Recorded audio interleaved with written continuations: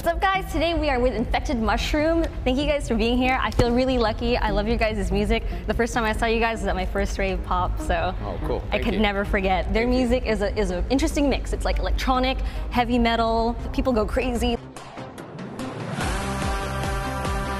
We try to keep the, the, the crowd pumped, and if you've seen the show, it's it is what it is. And Yeah, uh, it's fun.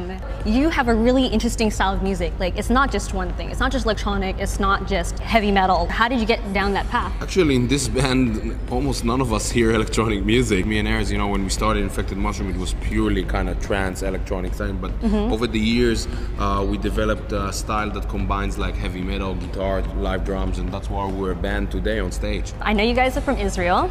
How is the music scene over there? The trance scene, the, the scene that we come from, is really mainstream in Israel. You Mm-hmm. Oh, know, interesting. It's broadcast in radios, television, big raves, uh, pretty commercial. It uh, it wasn't like that like 10 or 15 years ago, but now it is. And and it's uh, coming here. And it's you know yeah, here. in- in America it's becoming really big Mm-hmm. lately. What do you say would be one of your favorite places to tour at? The easiest would be the US. I The guess. easiest? Yeah, the easiest. US. It's We're happy to please, huh? But I have to say Israel as well, and uh, Australia. We just came from Australia. is also really, really good. So it's hard to say one.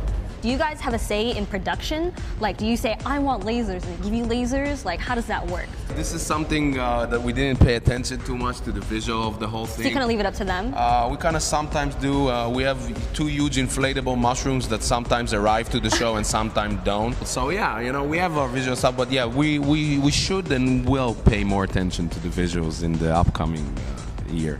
Well, speaking of Israel and your album, it is called The Legend of the Black Shawarma. And you guys own a shawarma shop. shop. No, no, no, no, No? that's No? rumors. I heard that before. But see, it's good. We're getting to the bottom of Yeah, this right Erez now. one time told people that if he won't do music, he will own like a falafel or a shawarma stand, and then it became kind of a, of a rumor that we own a Ah. shawarma stand. No. Legend of the Black Shawarma is about a place in Israel called Shawarma Chazan. is our favorite uh, shawarma place, and that's why it's the.